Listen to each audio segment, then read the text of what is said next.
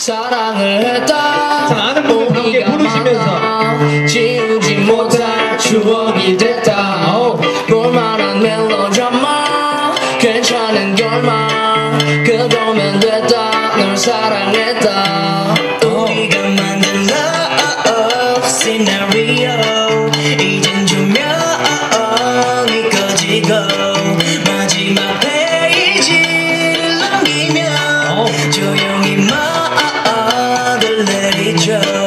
涙